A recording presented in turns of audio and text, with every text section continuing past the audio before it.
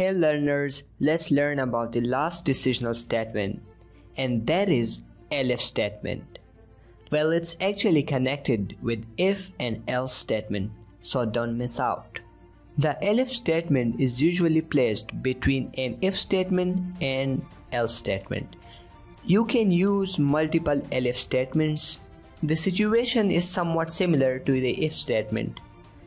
The elif statement will be executed if the provided condition in the previous if statement turns to be false, then elif block will be considered. So let's demonstrate it through the help of an example. So first I want to prompt the user, do you want to start the game?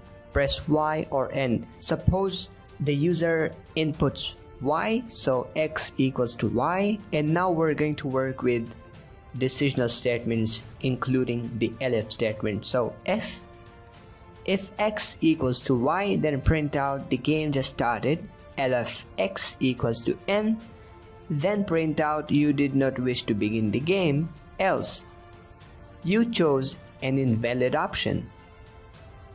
So you see in this case the if block will be executed because the condition for if statement turns to be true now if I want the elif block to be executed so what can I do?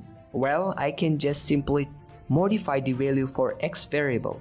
So if x equals to n then elif block will be considered.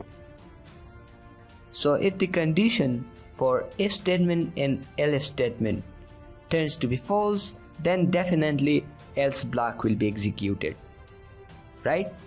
So that's how elif statement may work. So now let's modify this example and place another elif statement. And before I do that, I can just simply add another option for the user that is pause. So do you want to start the game press Y, N or P?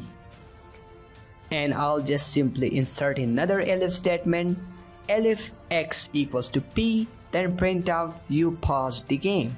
So that's it. That block will be executed for which the condition is true.